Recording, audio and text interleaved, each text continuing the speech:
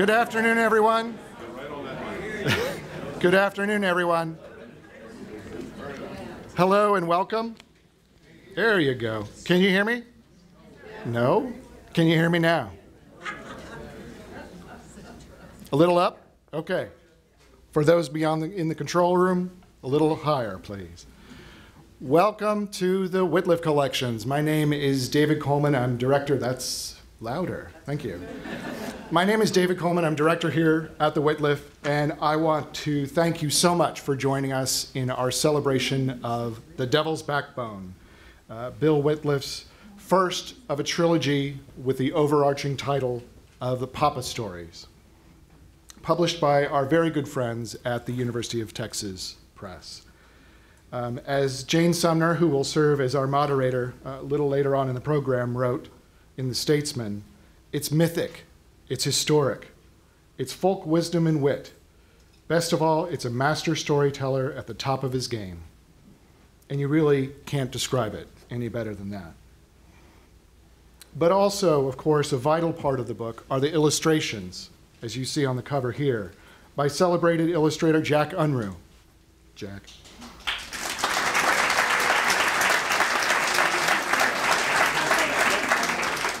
Now, why did Jack get an applause, but Bill did not? Let's.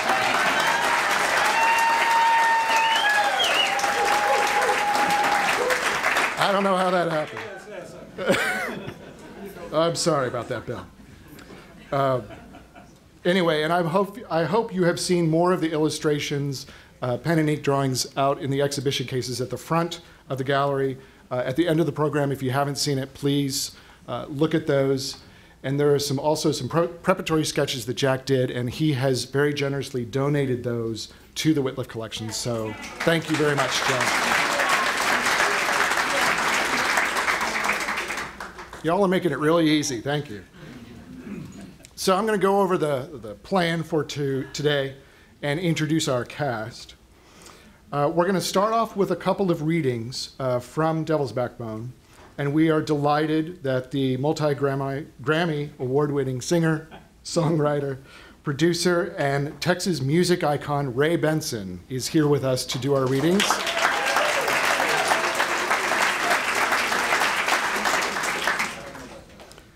And then we're going to invite Bill and Jack to discuss the book, guided along by our friend who I've just already mentioned, Jane Sumner.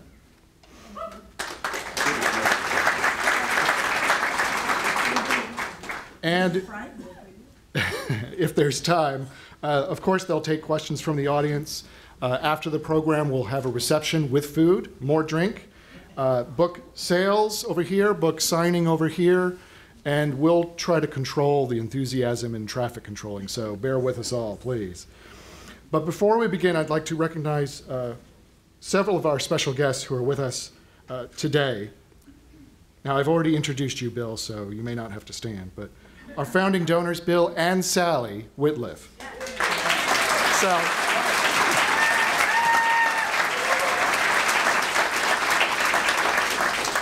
the Chancellor of the Texas State University System, Dr. Brian McCall.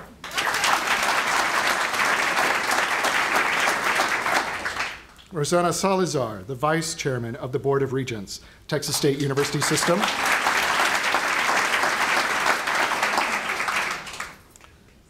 The President of Texas State University, Dr. Denise Trauth.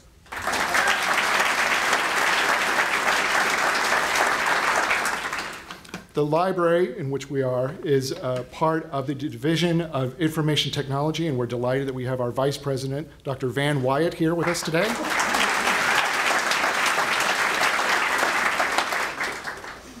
And we also have the Associate Vice President and University Librarian, and my boss, hint, hint, Joan Heath.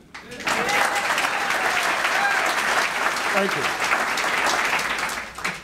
Well, again, thank you so much for coming. I hope you can all hear and see. Uh, I think this should be a lot of fun. Let's get started.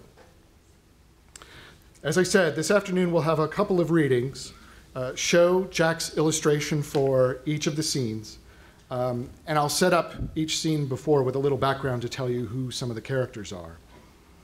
As a whole, the story follows Papa as he recounts his travels as a runaway boy searching for his missing mama, who has fled their home on her horse, Precious, to escape Papa's vicious daddy, known as Old Carl.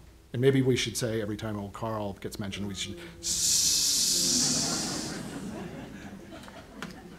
You're all a great crowd. So keep it up.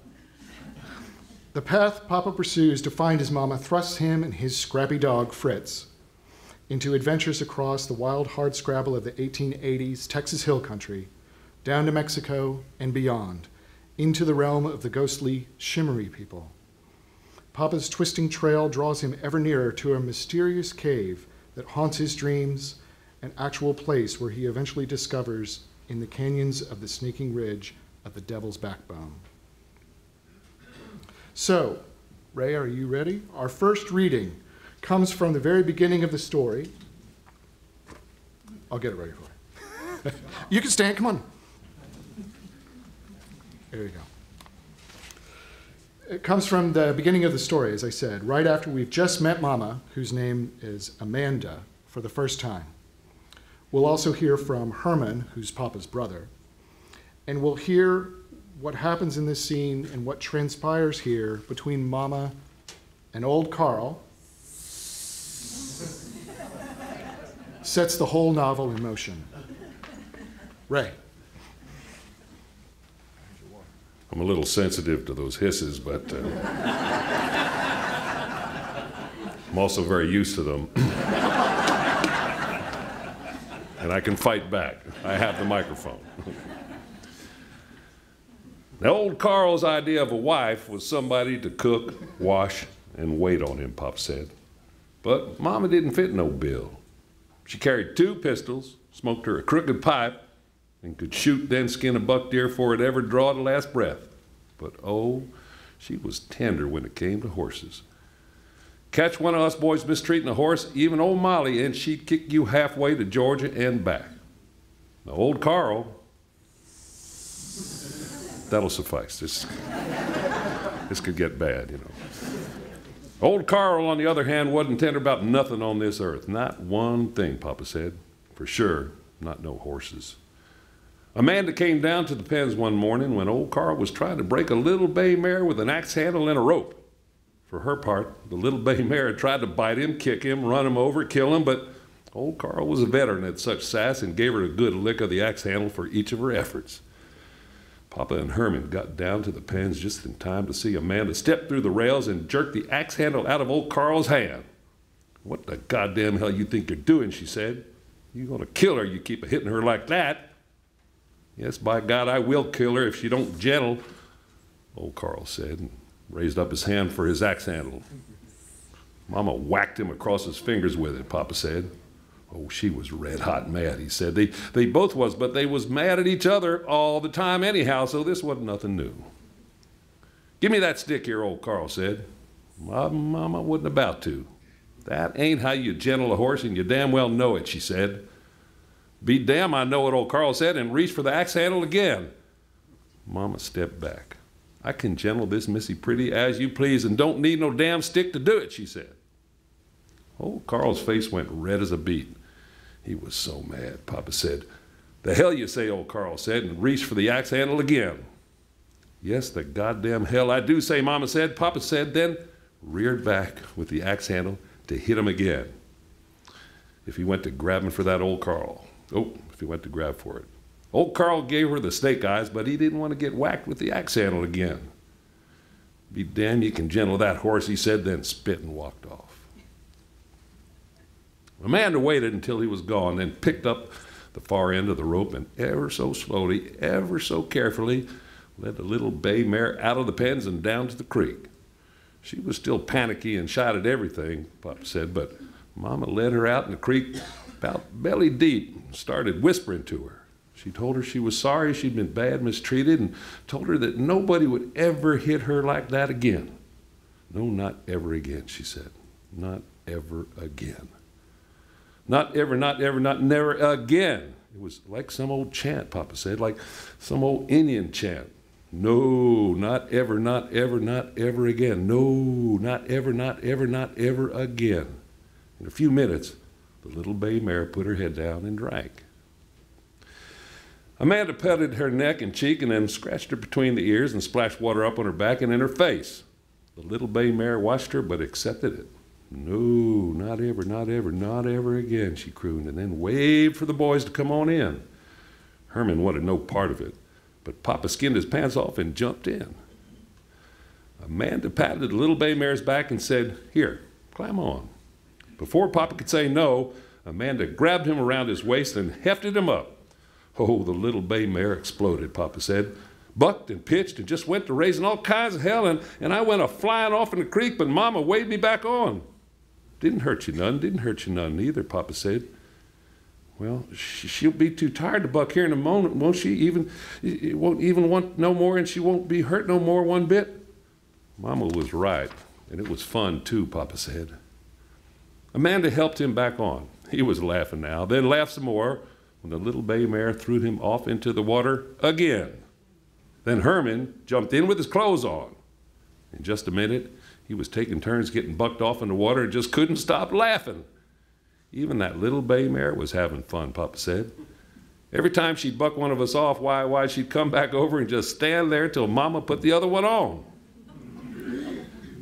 After a while, she stopped her bucking altogether, and we could ride her all over the place. It was the first time I ever seen Mama really laugh, Papa said. The last time, too. Well, old Carl was sitting out on the front porch smoking his pipe when they came back up to the pens from the creek with the boys riding double on the little bay mare. He didn't like seeing the four of them together like that. It made him think that they'd taken a side against him. Amanda had just drifted off to sleep that night when she heard the crack of a rifle shot come from down at the pens.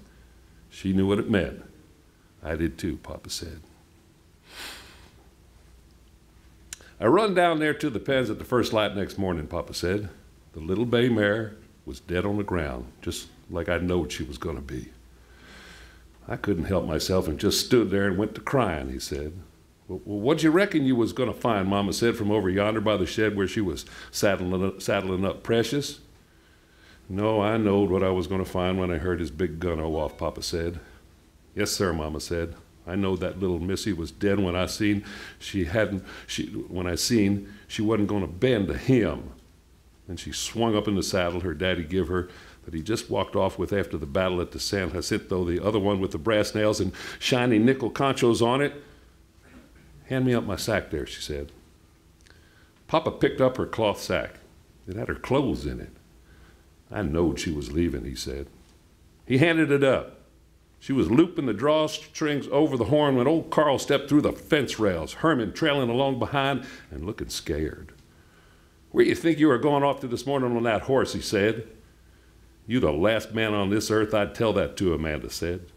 But I will tell you this one thing I ain't a never coming back. She gave him a long, cold look. You're a hard man, Carl, she said and mean, and goddamn you to hell if you don't work at being both the same way another man might work at a job. Well, well, go on and on and go. If you don't want to be married to me, go no more, old, Carl said. Hell, I, I, I, don't, I won't miss you. Old Carl reached up and grabbed the bridle. But you can leave this horse right here where you found her, he said. By God, you ain't taking her. Mama put her hand on her, one of her pistols, and her face went cold as froze ice, Papa said. This is my horse, and you'll take your hand off her, you son of a bitch, or I'll leave you dead on the ground, same as you did the sweet baby yonder, Papa said, she said. Old Carl got him a better hold on the bridle and gave her his snake eyes. You better watch yourself out there, Miranda, he said. You don't never know what might come up. You don't never know what might come up at you in the middle of the night in this country around here. Mama cut her eyes at him for the warning. I reckon you'd be the one to know about that, she said. Then all of a sudden, Precious bared back her teeth and struck out to bite him like some old rattlesnake might do. And oh, it surprised old Carl so much he left out a holler and fell back on his bottom, Papa said it. And when he did, why, Mama touched her heels to Precious and galloped off, galloped on off, not even bothering to blow me or my brother Herman a kiss goodbye. And, and that just about broke my heart in two, he said. No sooner did Mama gone on down the road, Papa said, when old Carl told us boys to hitch up old Molly and drag that goddamn little mare's body off in the brush somewheres and set it to fire before it got to drawing flies and stinking. I cried all day, Papa said, and so did old Molly. But Herman just clomped his mouth shut and never let out a peep about it. That night, old Carl told us we was going to have to make our own suppers from now on out, and, and our breakfast too. That suited us just fine, he said. We didn't want to be around him no more than we had to. Next morning, old Carl was gone, and not one, and not one word about it, Papa said. We gathered us up some, some chicken eggs and had us a breakfast, then went swimming in the creek. But they wasn't the same fun in it as it was the day before with Mama and the little bay mare. Herman said he didn't want to live here no more anyhow and was thinking he might just run off from the home and go live in a town somewhere. And, and was Papa going to come along with him? Papa said, No, I want to be here when Mama comes back. You're just a stupid little boy, Herman said. Our mama ain't never coming back. Papa started crying and said, Yeah, yes, she is too. Maybe when you're an old man with a long gray beard, Herman said, maybe then. Papa put his face between his knees and started sobbing. Oh, hush, Herman said. That ain't, that ain't to bring her back. That night, Papa dreamed he saw his mother standing out there in front of the house. In his dream, Papa waved to her, but he said she'd just give a scared look back over her shoulder and to the woods like maybe there was something about to get her then and, and then run on down the road in the dark. Papa always believed he really did see his mama that night, that it wasn't a dream at all, that, that she'd come back to say she loved him and that she'd be back one day. But there was another part of time, he said, that, that thought, no, maybe mama'd come back to say goodbye forever.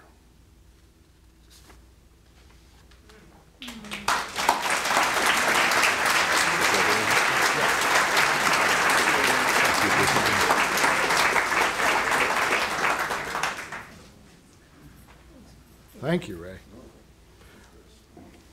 I have to get up on my tiptoes here. Now, our second reading comes from about halfway into the novel. Papa has recently joined up with the friendly Callie Pearsall, a cowboy, who at this point Papa doesn't really know if he can trust or not.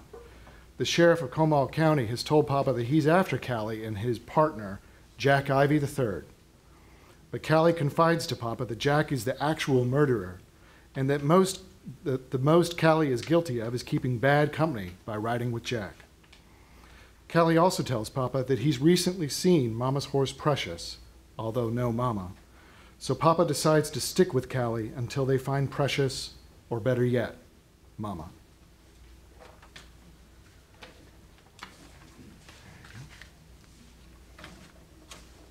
Can I get an amen? it's just always wanted to do that.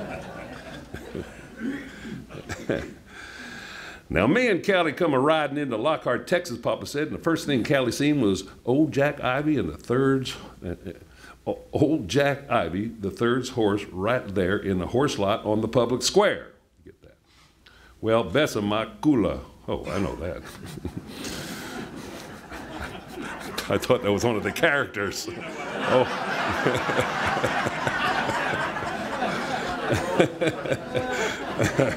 Let me do that in the right accent.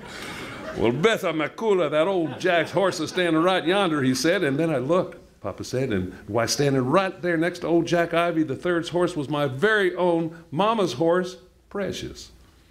That's my mama's horse, I said, Papa said, and was about to give old Molly my heels to go over and give her a hug, but Callie signed me back to stay where I was and said, Something's wrong here. It ain't like old Jack to raise up a flag. Uh, he's in town when he looked over across the street to Sidden's Longhorn Saloon and seen people going in and coming out and a man guarding at the door. That one's of the men was a riding with sheriff at Comal County yesterday. Am I right or am I wrong? He said. I took me a look, and sure enough, it was it, sure enough, and it was, and, and I said, uh, Yes, sir, you're right. I, I don't like it, Callie said. I bet they caught, I bet they caught poor old Jack, and the sheriff of Comal County got him chained up in there for cause. Uh, they're going to hang him too, I reckon he said, and, and, and not a goddamn thing to do about it but blow old Jack a kiss goodbye and then wave him adios amigo.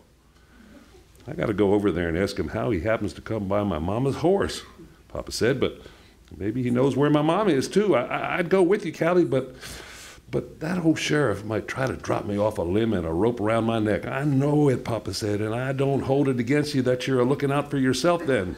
I went to walking across the street with Fritz tagging way long behind and, and went up to the man guarding the door. I'd like a visit with Jack Ivy the third, please, sir, I said, Papa said. The man gave me a little smile and said, Oh, you would, huh? Yes, sir, I would, I said. And he said, Well, Jack Ivy the third's in there with the sheriff, but they had him a long day and they both pretty much all talked out, I reckon. Well, I still need to talk to him, I said. I, I think he might know where my mama is. Oh, now I remember you, the man said. You, that little boy, was on the road yesterday looking for his mama. Yes, sir, Papa said. That's me, and I still am. Well, there ain't nobody in there can tell you where your mama is, so you and your little pooch there might just as well get and run along now. Well, maybe if I talk to Sheriff of Comal County, he'll let me talk to uh, Mr. Ivy the third a minute or two, Papa said. No, I don't believe he would, the man said. Now run along for I lock you up in a jail for being a public nuisance. That's when I remembered I had the five dollars Callie gave me in my pocket. So I pulled it out and said, Well, tell the sheriff of Comal County I'd give him this five dollars here if he'll take me to talk to Mr. Ivy the third and the man sucked that five dollars right out of my hand and said, "Well, I don't guess it would hurt to ask him. Would uh, uh, uh, ask him? Uh, would it anyway?" And and he went in to ask the sheriff, "Could I talk to Jack Ivy the third about my mama or not?" Then uh, then here, then maybe he'd come right back out again. And said the sheriff said he was going to allow it, and, and, and thank you for the five dollars. And, and and then the man stepped back and pointed out across the room to the doorway in the back where people all lined up to go in. Go on, the man said. The sheriff of Comal County and old Jack Ivy III is both in there visiting with everybody. So Papa said, I picked Fritz up. I picked Fritz up to me and got in line with them other people. Then I accidentally turned and got me a look back out the front door. And boy, howdy, there went O'Cally Pearsall, just a galloping off down the street on Firefoot. And oh, he had my mama's horse Precious tied on a long rope behind him, and she was a running off down the street, too. Well, I didn't know what to do, Papa said. Of course, I didn't have no choice neither. I couldn't have made old Molly run fast enough to catch him, even if I'd put a firecracker, firecracker up under her tail and lit it afire. Then he said, the man come up behind me and said, It's your turn now, but just remember to talk loud, because they both gone a little hard of hearing here lately. So I stepped in, Papa said, and oh, wasn't nobody in there but four feet sticking up from under the some bloody old bed sheets. Which one do you want to talk to first? the man said, then pulled the coverings back to show me the dead and naked bodies of the sheriff of Comal County and Jack Ivy III with bullet holes all in them both and liquids just oozing out of every one of them holes to the floor so you had to watch where you stepped. It was so slick. Ask him anything you like, the man said. Just remember, talk loud. now, how'd they come to this bad end, Papa said? Oh, Oh, oh, oh, oh, oh, wasn't nothing to it, the man said. The sheriff come over here to get him a refreshment, and there was old Jack standing there at the bar getting him one too. And the sheriff said, Jack, you're going to have to come with me for criminal acts. And Jack said, No, I don't do it. And the sheriff said, I ain't asking you, Jack. I'm telling you. And Jack said, You must have a wasp nest in your goddamn ear, you son of a bitch. You don't hear me a saying no. And the sheriff said, I got three armed men standing across the street yonder and I can call them all over here if I have to. And Jack said, if you don't put up no more value on their life than, the, than that, why, why then go on and call them over. But, but I'm thinking I may be better go on and, and shoot you right now anyway, before the odds get to stacking up against me with them other three coming over here. Let's, let's just talk about this a minute, the man said, the sheriff said. But Old Jack said, No, let's just go to shooting. I'm tired of them fooling around with you, you sorry son of a bitch, and everybody else in this world like you. And, and so they just went to shooting back and forth at each other, and then and they went to running and hiding over behind the chairs and tables and doors, and people just to fleeing in every direction. And then bullets are hitting so close all around them. Old Jack fell down dead, dead over there by the footrail to the bar, and then the sheriff himself, just a bleeding, stepped over to him. And well, Jack, I reckon you learned your lesson now, huh? But if not, I still got me a bullet or two in my pistol for you. And and then he gave him a little kick just to be mean about it. And and when he did, old Jack raised up in a big surprise and let pop with his last bullet and went in there under the sheriff's chin, then come up there at the top of his head in a big mess of blood and goo. Anyhow, he said, that's, that's what the bartender seen it all said. And then one more thing the man said, if it don't matter to you, I'm going to give over your $5 to the sheriff's handsome widder as a gift when I go pay respect for uh, before I could answer, Papa said, he said, I- will ask you to pull them sheets back up over the dead faces when you're done your look. And then, then, then he gave me a smile and a knock on my head and went, and went out the door. And, and I did what he asked me to do. And then me and Fritz went on out too. And, and that was the last time I ever did see old Jack Ivy III, the man who might could have told me where my mama was, but he was dead now and I was sick about it. Course, it was a mystery to me, too, Papa said, where old Callie Pearsall had got off to with my mama's horse precious, but they just wasn't no way to know, so I give my heels to the old sway back, and me and Fritz went a riding on on out to Lockhart, Texas, feeling bad about just, just about everything there was in the world to feel bad about. well,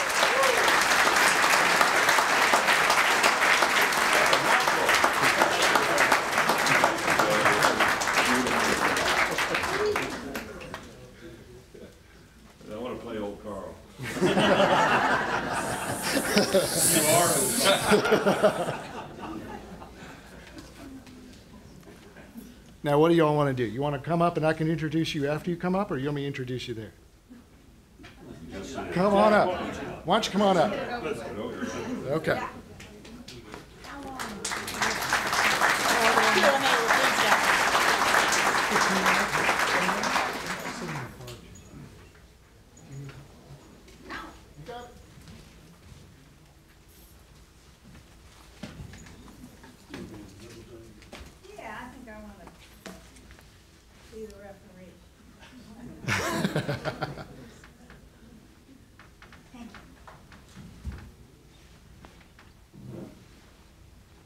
Now, before you all get started, I need to do a little formal introduction. Bill's not big on formality, but sometimes you got to do what you got to do.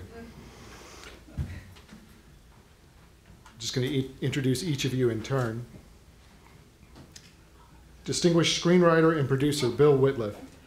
His credits include Lonesome Dove, The Perfect Storm, Black Stallion, Legends of the Fall, among many others.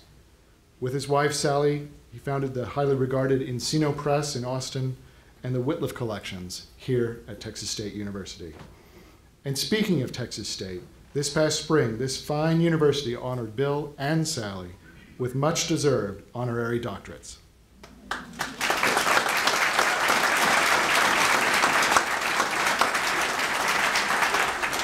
So remember, when you address them, Dr. Wittliff. Or not.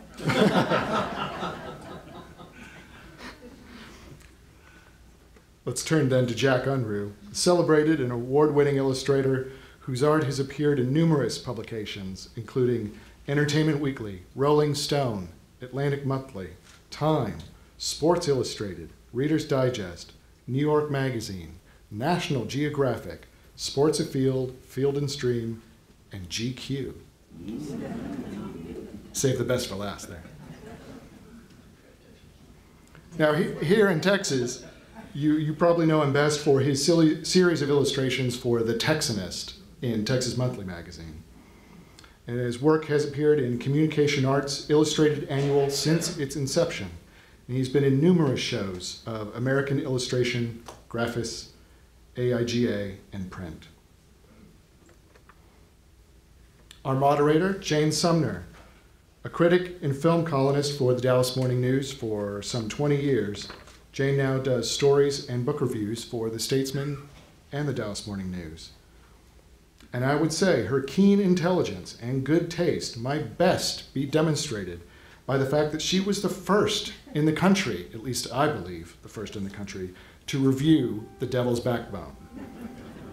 As you've already heard, she gave it a glowing review. For you, right? Yeah. So please welcome Bill, Jack, and Jane.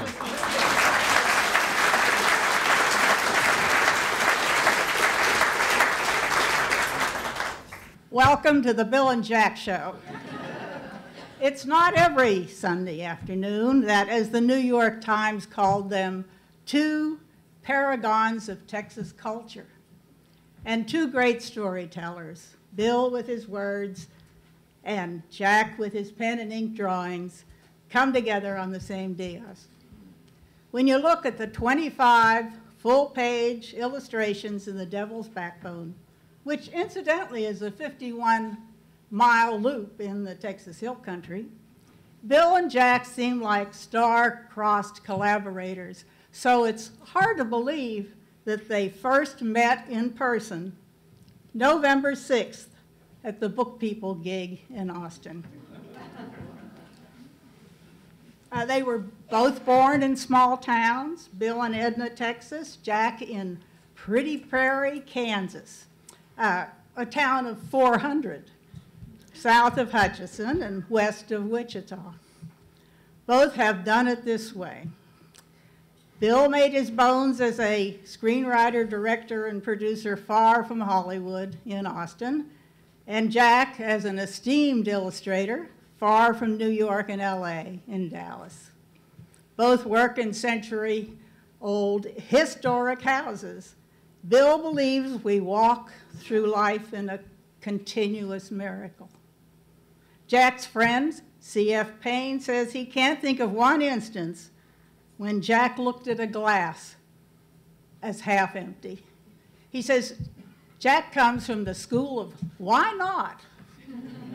and both are Hall of Famers. Bill is in the Texas Film and the Texas Literary Halls of Fame, and Jack in the Illustrators Hall of Fame.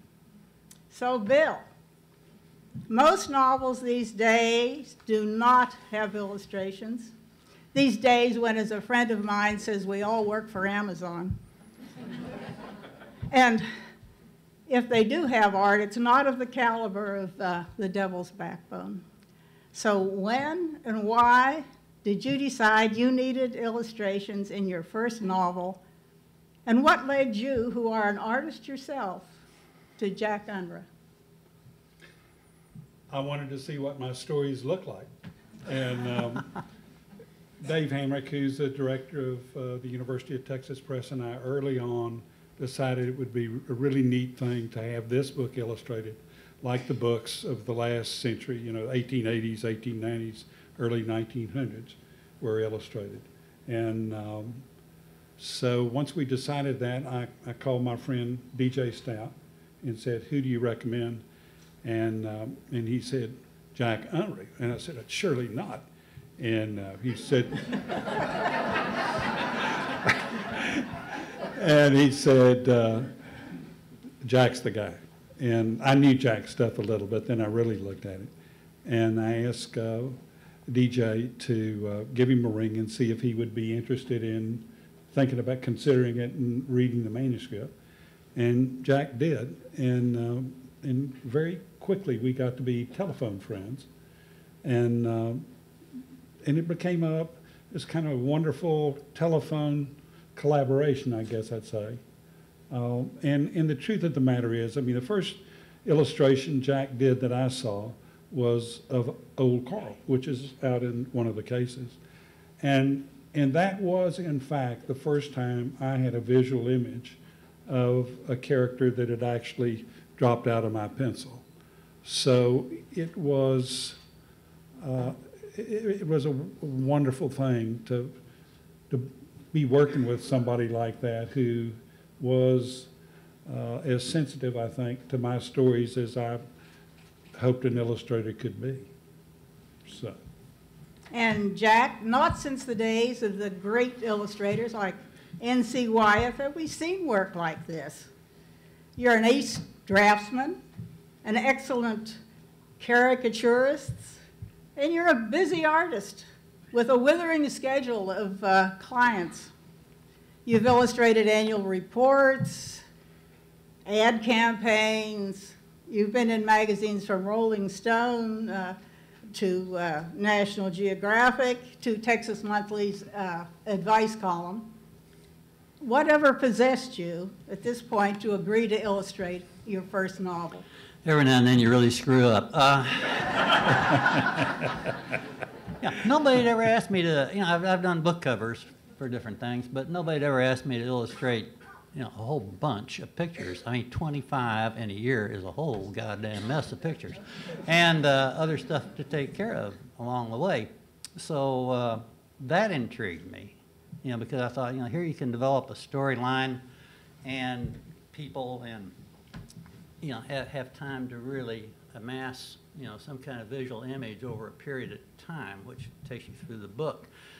Plus the fact, I really love the story, you know. I don't know if, you, what a tremendous job he did of reading that today. And, you know, really put life to it. Uh, I wished I'd had him read it to me when I started this thing. In fact, if you do a, a, a book, talking book thing, eh, there's your man.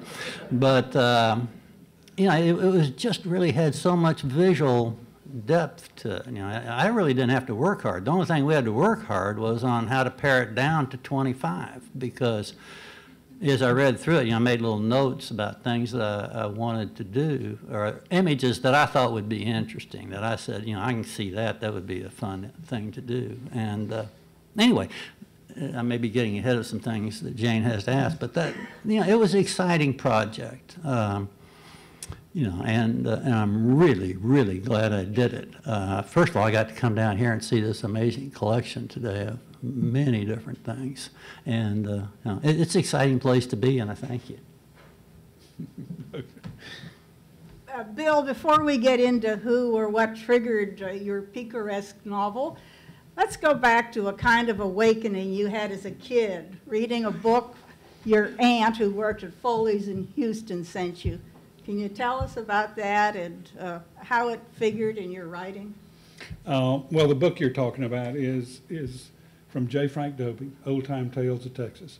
Um, Let me see how to tell this. Um, My father was a terrible drunk. My mother said he simply could not walk past a bottle of beer, and that was true. My mother left him because she was afraid that he was going to drag us down. And she took a job with a telephone company in Gregory. We lived there.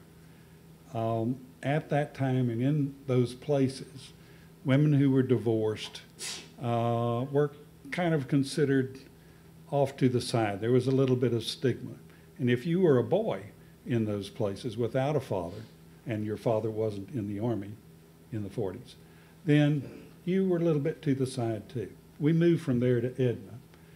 In Edna, there was a man who lived down the street who was a great storyteller. And every evening after supper and when the fireflies started twinkling, he would sit on his porch and tell stories. If you went the other way, there was a lumber company and a wonderful man named Gus Westoff uh, would give you a board and some nails and tell you to go build something, but he'd tell you a story. And he told me the story about the wild woman of the Navidad, which was an, about an escaped slave who the ranchers and farmers tried to catch for years. And she ran loose in the Navidad bottoms. And for a while, they saw the tracks of a young child along with hers. And then, after a while, the tracks disappeared. And, you, and they only saw hers, and they never did catch her.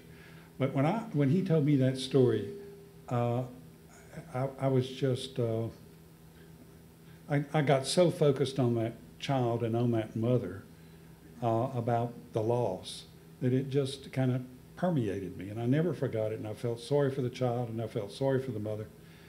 And then when I was, I think, uh, 12 or 13, my aunt sent me a copy of Dobie's book. And the third or fourth story in there was The Wild Woman of the Navidad. And there was that story I had first heard as an oral tradition in a book, in type. And, and for the first time, uh, it came to me that um, books and writing could come right, o- right out of your own piece of ground. And it absolutely set me afire. And um, this place is, as far as I'm concerned personally, I mean, is a result of that connection. So, and in the next volume of the Papa Stories, I mean, it's, it has a lot of the Wild Woman of the Navidad in it, as I've reinvented it for my own purposes. But that's where it comes from. Well, for the Statesman story, I went to Bill's office in the old Marley House, uh, where uh, the short story writer uh, O. Henry once hung out. Chica, Bill's poodle, slept through the whole interview, but there were some choice moments. Uh, one was when uh, Bill let me hold my hero John Graves belt buckle uh, in the shape uh, of the infinity sign. And another when he told me about the rather startling deal he made with himself before beginning to write The Devil's Backbone. Would you talk about free writing, Bill? Uh, well, the deal I made with myself was that, that um, I would just trust what came out of the pencil. I wouldn't try to, to figure it out or plot it or anything like that. And um, from time to time, once you start that way, you just kind of open it and, and go. And from time to time, a character would knock on the door and want to come in the story. And, uh, and I would make the same deal with all of them, which was you can, you can come in, you can be a part of this story, uh, unless you get boring. And, and if you get boring, then the next guy through the door is either going to shoot you, hang you, or run you out of town. and, and I think that, for me anyway, that, that pretty much worked, you know. But, uh, but I tried, and it wasn't hard for me to, but I, I didn't want to think it. I wanted to just, you know, connect with whatever part of me had the itch and scratch it. And um, by writing the book, and, and that's what it is. Now, uh, that's not to speak to the quality of it, that's to speak to the process. Okay. Uh, Jack, you've drawn real people from J.R. Tolkien to Harry S. Truman and a lot of presidents. Uh, my favorite in the book is the uh, drawing of Papa waiting on the porch for his mama to come riding up on Precious through the crystal road that he has assembled of uh, icy leaves. And I wondered, uh, how did you view Papa and who was your model? Yeah, well, that, that was an easy one. Um, actually, I'm going to go back just a little bit as to how I got to that image because Bill, when you get a chance to read this thing, has all these. it's been kind of a fine mist develop over the trees, and so these leaves, f- then it freezes, and these leaves fall into like little crystals, and Papa lays them out waiting for his mama to come back, who's supposed to come back at Christmas time. And I kept trying to figure out how in the hell am I going to show all these leaves? I'll die, you know, before I get to number three million four hundred and five. And I said, there's got to be another way around this thing. So uh, I said, okay, we're going to draw Papa waiting on the porch. And uh, I've got four grandsons. One of them is going to school here. He's six five. He wouldn't work. But my, my nine-year-old was pretty close to around the right age, and uh, so I, uh, I hired him for you know six Snicker bars and a lollipop to, to pose. And, uh, you know, we went ahead and did the drawing of him sitting on the porch, just kind of waiting in a cold thing. And if you wonder why he doesn't have shoes on in the cold weather, that's because his old man Carl wouldn't buy him shoes. And so I remember when I got ready to draw that, and I, I called Bill and I said, Do you think by now Papa's got shoes? And he said, No, he doesn't. So who is Papa, and how's he getting this book, Bill? Uh, I suspect he's a combination of, you know, stories my grandfather told, my mother told, my relatives told. Um, and he's just kind of a, a combination of all those people and the imagination. Um, this book is inspired by stories my people told me. but it's not, it's not the stories. So, but the other way to answer is, I have no idea on earth. You did have some printed material, though, from your, your grandfather that you were, Uh, oh, what- Years ago, um, when Sally and I first got out of college, I went to visit my grandfather and I asked him to write his memoirs. And he didn't have even a second grade education, but he went down to the junk store and he bought an old typewriter. And with one finger of one hand, he started typing his memoirs. Now, he didn't know how a typewriter worked, so he started way over here before the type was actually hitting the paper. And he kept typing long after it was off the paper. And he did 40 some odd pages. And then Sally and I went back down there. And, and of course, I had the, middle of what he had to say, but not the beginning and not, not the end. Um, but it turned out to be a wonderful blessing um, because then I, I essentially got to say, Papa, you know, what was this? What was this? Who was this? And so on. And he would tell me things that he never would have put on paper because he was always afraid. He'd say, Well, their people might come back on me, you know. And um, so, and how about your amazing mother? What role does she play? in well, mother also, mother also, you know, after my grandfather did his, then I asked my mother to do hers. And for two years, my mother got some Big Chief tablets, and, uh, and, and she wrote her memoirs. And after she finished them, then Connie, where are you, Connie? Connie, my dear Connie Todd, uh, set them in type, and we made a book for my mother, which she could then give to, you know, her sisters and brothers and friends and all that stuff. But um, most of mother's stuff, if, if the thing goes that long, will, will, you know, come into play in other vol, later volumes. And Jack, from the time you were a youngster and you wanted to be a game warden, and your dad, who was in the Air Force, thought maybe you could make a living drawing pictures. And uh, you've been an outdoor guy. You love the wilderness, you love uh, flora and fauna. Uh, You painted caribou for Field and Stream. You did the uh, male um, silverback for the Bronx Zoo. And there are a lot of fish on your entertaining uh, website, jackunruh.com. Uh, Where did uh, Mr. Pegleg, the uh, three-legged coyote who licks Papa's face, where did he come from to get on the page? Well, I knew we had to do it uh, because he's an important character, and I hadn't drawn a lot of coyotes.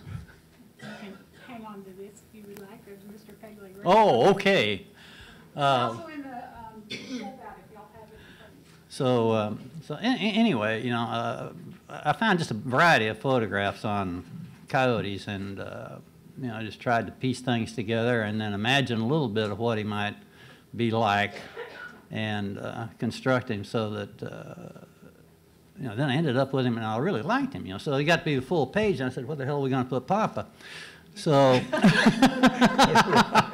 so, so we just stuck his toes in there at the bottom, and and, and uh, which is the way a lot of things go. You know, you don't plan everything. The illustration is a little bit like Bill's stories. You know, you kind of start out with uh, something you're going to do, and, and then things develop and come along that either really mess things up or you know put a little bit of a spark and shine to it. So, uh, you know, he, he's just kind of a construct of a variety of coyotes. And Bill, some of the characters uh, come out of family ex- experiences and your own personal history. Um, Where did Mr. Pegleg come from?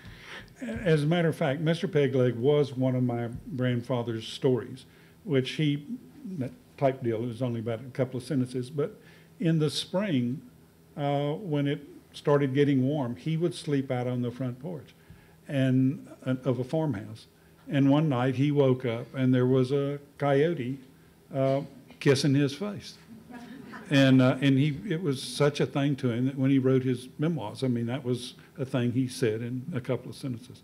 And then I took that and just And once, once Mr. Pegleg got on paper, then he wanted to do things. He was like the other characters that were coming through the door. And, uh, I mean, I was about to put him back in the brush and, you know, send him back to the country. And, uh, no, he wanted to come back and stay, so. And that was my deal with all of them. And uh, where does uh, Papa's uh, oracular uh, half-brother, who was uh, born in a wheelbarrow with a birthmark of a bird on his chest, where's, where is he? The blue baby. Yeah, the blue baby, Yeah. where's he come from? Um, there was a girl in my kindergarten class in first grade, and her mother, when we got to the second grade, kept her from coming to school. And so I asked my mother, what's, you know, what's happened to Janice? And mother said, well, sh- her mother is keeping her home because she's a blue baby. And I didn't, I had no idea what that meant. I said, well, a blue baby, that, you know, so she looks funny. And uh, I didn't know it was that, you know, she had been born so premature that her organs didn't develop and she was not expected to live beyond what was then second, third grade, I guess. And in fact, she did die. But, but I never knew, I didn't know that a blue baby was a preemie until much later. And then I thought, whoa. And then again, when this little baby is born, you know, right at Fischer Hall, while people are dancing inside, you know, when the lady came out with her, she was a blue baby. So she just, I mean, again, it's that business of uh, some part of me itched, and that's how I scratched. And how about the torrential thunderstorm that tears all the leaves off the trees? The hailstorm. Uh, my mother and I actually went through a hailstorm like that at the ranch in Blanco when I was in high school. And I mean, you know, they had told us that in uh, high school because this was right after the great, I guess it was a Waco tornado, wasn't it? That tore up Waco. And at school, they said, you know, this is the time of year you're going to get some bad weather and so on. And if you're out somewhere and the wind's blowing, but all of a sudden it stops and then changes direction, so I can look out because that's a storm coming. And mother and I were actually out in the yard watching the weather, which all country people did. And uh, the wind was just blowing like crazy. And then uh, all of a sudden the wind stopped. And, um, and when the wind stopped, uh, I looked over at my mother and I said, we better look out. And then here it came from the other direction. And with it, this massive hailstorm uh, that stripped every leaf off of every tree, every blade of grass for as far as you could see. And then after that, um, the sun came out, and then this fog started lifting off the ground, and uh, and it was so eerie. But you never, you know, you never forget something like that. And then if you turn your hand to writing or art or whatever, then all these things that made a made an impression on you at, at some point in your life, then you try to use them in in what you do. And I did. That's where that came from. And Jack, there's some bad hombres in this uh, book. I wondered who your model was for uh, old Carl, the uh, vicious uh, father. Well, a, a lot of those different people, you know, I, I kind of conglomerated from old photographs and stuff, but Carl actually just drew from Bill's description. He, he was pretty much, the head of Carl is pretty much just an imaginary thing. And, uh, you know, just from the description of him. And, and then uh, Judy and our son, uh, Chris, became the model for the, for the body, which, you know, I, I took photographs of. And you don't use them exactly the way they come out in the photographs, but you kind of piece them together. But uh, Carl was pretty much just direct inspiration from Bill. Many of the others, uh, if you ever look at the wanted posters, and you know, there's about five people in every newspaper in the morning, you know, they say, you know, wanted for aggregated robbery and whatever. Well, a lot of those people came from those kind of things, which I figure they can't come back and sue me for those images. They've got other problems and they're busy. Um, But, but there are one or two here, if Michael O'Brien, who happens to be here today, ever looks at it really closely, he, he might see some form of inspiration that developed in some of his images. Just inspiration, Michael. And uh, my last question uh, is for Bill. Uh, One of the most endearing aspects to me of the book is your sense of the supernatural, of the mystery of life and death. And Papa visits a seer friendly with haunts who won't tell him his future. Um, He dreams of his mother who may or may not be alive. And he meets the spectral, shimmery people, the uh, mystical people over there on the other side of the creek. Um, Would you tell us how you regard the shimmery people and uh, why they're in the book and what they mean to you? Well, um, I believe we all have invisible helpers. I've always believed that. I know I have. I know there is a movie God, or there would be no Lonesome Dove. Um, and I just view this, uh, I mean, that we're all walking across a landscape that has two sides of the curtain, you know, and, and uh, so this, I mean, this does not seem goofy to me. It may, it may to you, and it may be. But also, and let me tell you one more thing, and it's a, a good way to quit. Uh, my people are all country people. Uh, they planted by the moon, you know. Uh, folk wisdom was their wisdom. Folk healing was their healing. Um, um, my, my mother could levitate tables. Um, she and her sisters would get above a table like this, and the table would come up on one end, and they would ask it, How old is Billy? And it would knock out six. And then, and but, th- but this, was, this was not goofy stuff. You know, my brother and I thought this is kind of goofy, and they must be doing it with their knees, and we would crawl under the table, um, but they weren't. So, so this all, none of this seems strange to me or not a part of, of the world we all live in, you know. And again, you can't, you simply, Ray would probably back me on this, you simply can't lead a creative life uh, without having a sense of other forces uh, at work on you and at work on your work. You know, that um, I'm going to go one step further with this.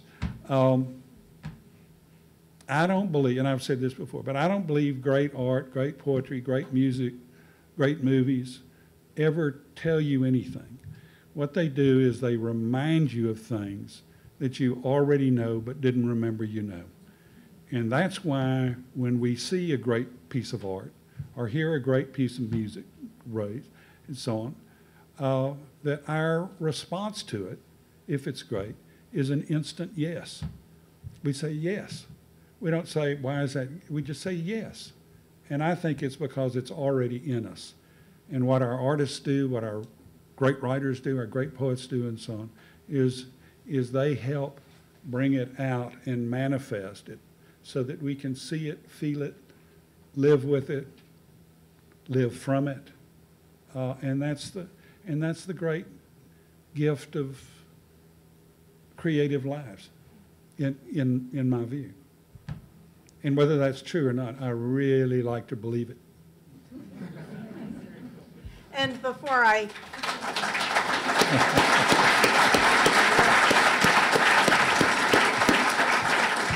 And before asking for your questions, uh, I would like to pay tribute to Bill's uh, beloved co-author, uh, his pal and his writing companion, uh, to whom, along with his grandkids, uh, he dedicates the book, the late, great Poodle Ocho.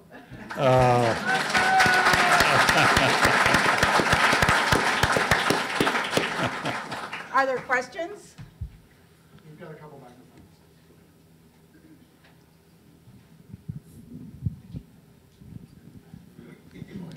Anybody have any questions? Well, I'll start.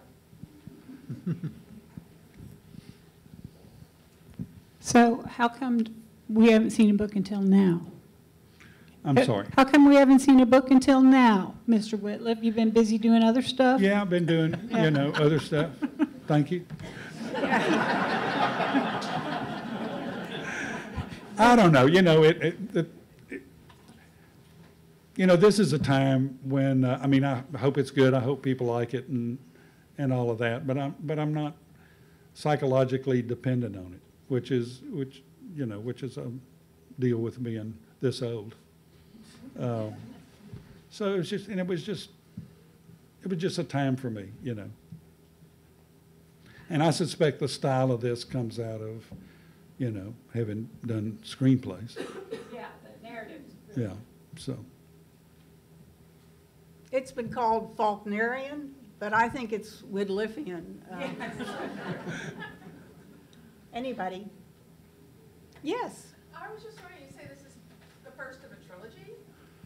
Are you going to be uh, collaborating again um, for the next two books, or? not there gonna with be- Jack, there'll be two other illustrators for, for those books. Okay. We could, just- we could, we can only go so far with Jack. And when, when can we, when can we expect he, he learned his lesson.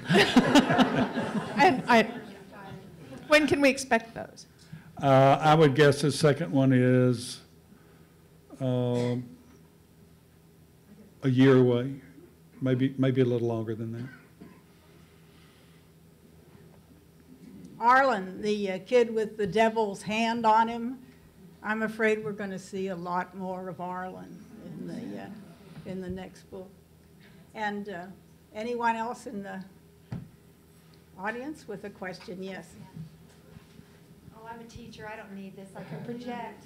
Um, Papa is your character, and I heard you refer to your grandfather as Papa. Is that where you got the name? That is where I got the name, yeah. Thank you. Okay, I have a question. So you say that you had made notes, this is, this is for Jack, Unruh. Um, you said you had made notes on pictures and then had to limit it to twenty-five. How many pictures did you think you would have come up with if you hadn't been limited? Boy, I, um, I think we were up to 38 or so, uh, or maybe more. Uh, I- They've got all the stuff here now, and you can go through but I just kept drawing little boxes and writing on them, and, you know, and, and then we tried to figure out a way. Bill says, well, we can't, I think we had like three coyote paintings or drawings I was going to do. Well, we figured, you know, we can't give old Peg Leg that much press. So uh, we had to skinny that down and, and get rid of one of those. And uh, then we figured maybe 10 to 12 to 15 pages apart. So then we went through there and tried to say, okay, well, then we can kind of spread them out. And there are a few gaps that didn't work out quite that way, but uh, Uh, it it was just, you know, there's a tremendous amount of material in there that's very visually exciting, and, and, you know, you get to draw people with guns and, and toes getting cut off and blood spurting. You know, it, it, it's good stuff, you know, that, I don't get to do that for Garden & Gun, I mean, you know, that, those ducks that die can't have blood on them.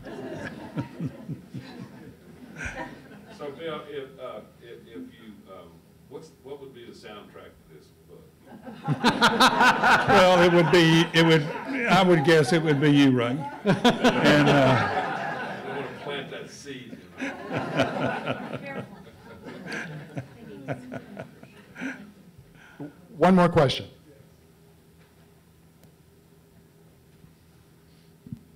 Was your experience in writing the book, Bill, as rewarding as writing The Lonesome Dove?